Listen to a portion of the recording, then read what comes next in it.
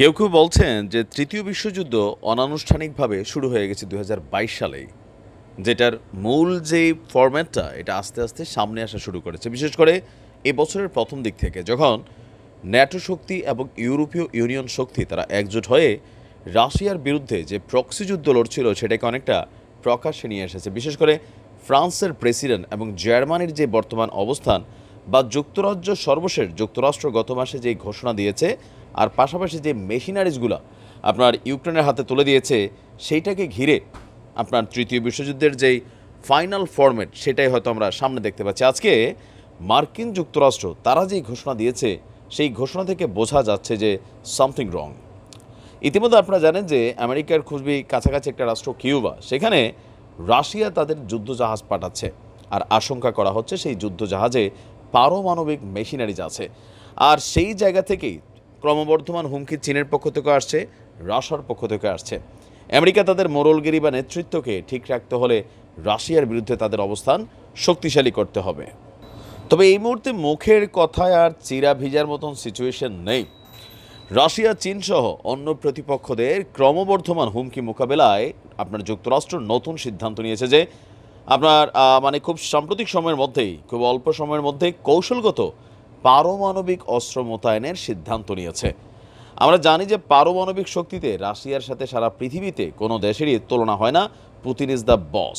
White হাউসের পক্ষ থেকে আপনার এই বার্তা সামনে এলো। দেশটির আর্মস কন্ট্রোল অ্যাসোসিয়েশন আয়োজিত এক অনুষ্ঠানে জাতীয় নিরাপত্তা পরিষদের অস্ত্র নিয়ন্ত্রণ বিষয়ক শীর্ষ কর্মকর্তা প্রণয় ভাদ্দি আপনার আমেরিকার নীতিগত এই অবস্থানের কথা তুলে ধরেছেন। সংগঠনটি অস্ত্র নিয়ন্ত্রণ নিয়ে জনসচেতনা, জনসচেতনতা এবং কার্যকর নীতি প্রণয়ন নিয়ে কাজ করে আসছে।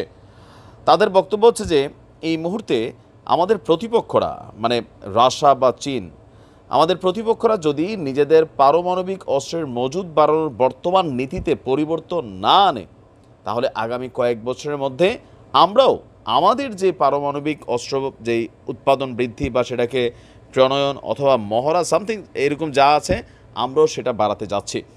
যদি প্রেসিডেন্ট এই ধরনের সিদ্ধান্ত নেন, তাহলে সেটা বাস্তবায়নের জন্য আমাদের পুরোপুরি প্রস্তুত থাকতে হবে।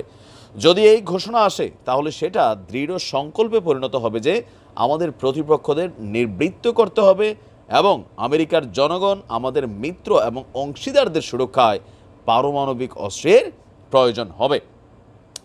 রাশিয়ার সাথে দুই হাজার দশ সালে সম্পাদিত নিউ স্টার্ট চুক্তি অনুযায়ী যুক্তরাষ্ট্র বর্তমানে সর্বোচ্চ এক হাজার পাঁচশো পঞ্চাশটি কৌশলগত পারমাণবিক অস্ত্র মোতায়েন করতে পারে। যদিও যুদ্ধে ইউক্রেনকে সহায়তা দেওয়ার অভিযোগে গত বছর রাশা এই চুক্তি থেকে নিজেদেরকে সরিয়ে নিয়েছিল, আর এই মস্কোর এই সিদ্ধান্তে অনেকটা বিপাকে পড়েছে মার্কিন যুক্তরাষ্ট্র।